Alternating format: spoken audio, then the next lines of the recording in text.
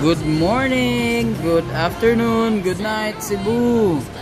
So karon finally nanadyo taon ko oras nga mo overview na sad sa ato ang display unit nga the all new Jimny. Oh yeah. Alright mga suki, mo na ni ang all new Jimny. Ah, ba? All new na jud. Wa na siya nabilin sa previous design, dili siya minor change, but all new na jud siya. So what I mean with all new, same sa akong uh, overview katong sa Ertiga is tanan o sa walay nahabilin sa previous nga design. So kani siya karon ilang gibalik ang design sa pinakaunang Jimny which is the Samurai nga gibalik nila nga kana nga look sa may headlight ang even ang pagka-boxy look niya ilagya pong gibalik is for the reason nga ganahan sila nga si Jimny will last forever sa inyong family kay tungod sa iyang pagka-classic look bitaw Okay, so mo yung sides. If you notice, medyo box type design na dyan siya. Para pahatag sa niya o para classy look ba kay bisag unsaon na to pagstorya, ang Jimny is not for everybody. It's for those who really wants the Jimny.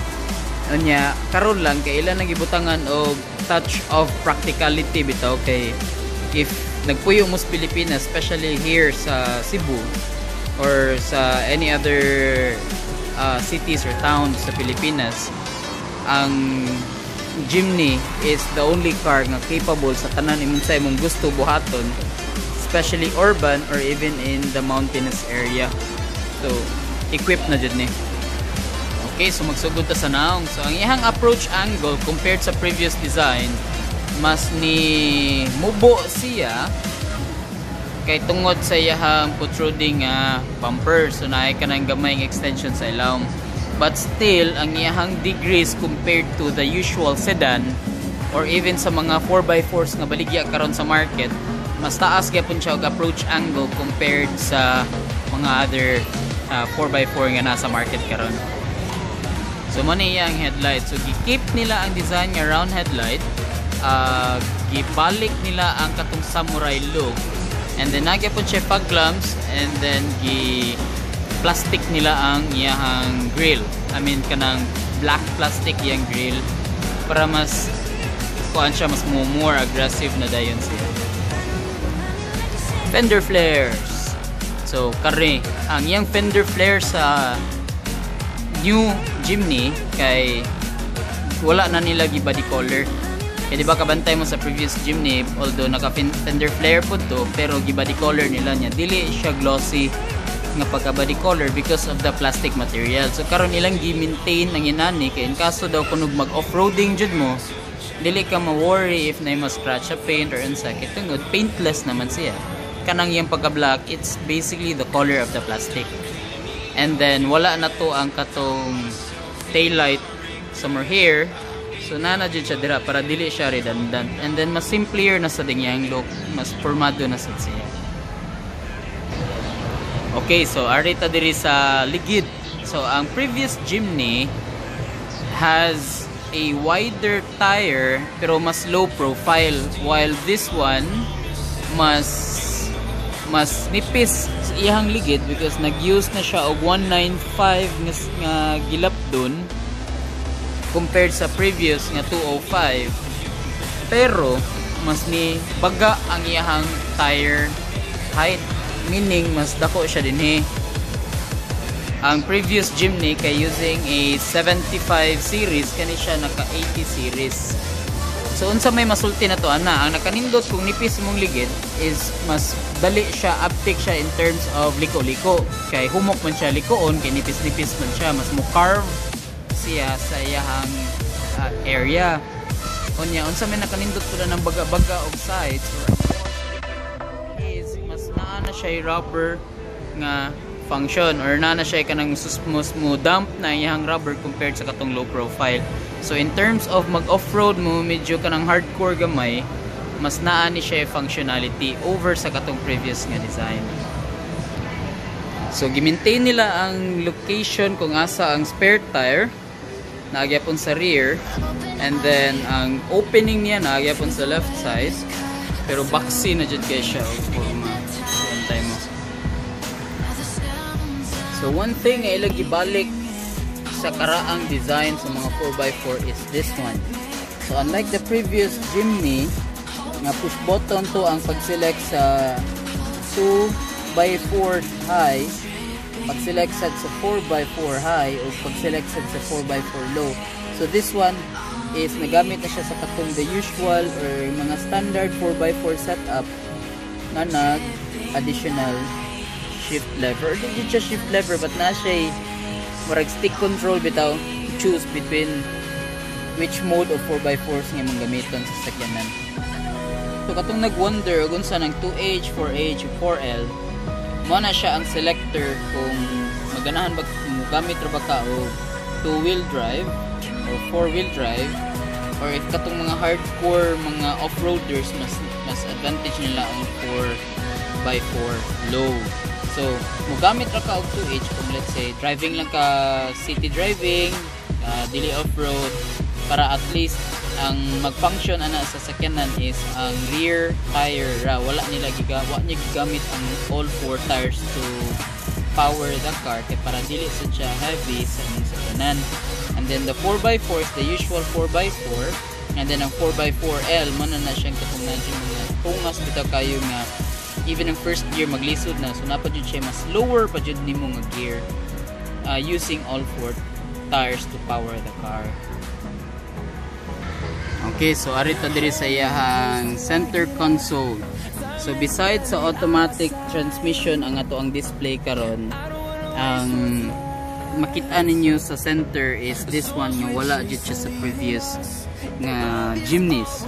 So if ang previous Jimny natin push button for the for the 4x4 functions, ang kani siya karon kana siya mga additional buttons diri sa front nga nasa sila ilang mga kagalingong features pod. So on the leftmost is the power window on the driver side. Next to that is the traction control.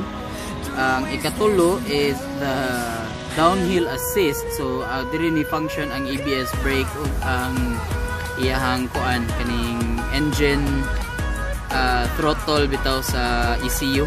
So mo down mo down gear siya maayo para nimo And the last one is ang yung power window sa passenger side. So nana siya diri unlike uh, sa mga standard auto nga power window switches na sa door. So if notice ang putahan wala na. Diba? Limpyo na kayo. Nana siya diri. And then we have the air condition, same lang gihapon, uh, dial type pero all functionalities siya.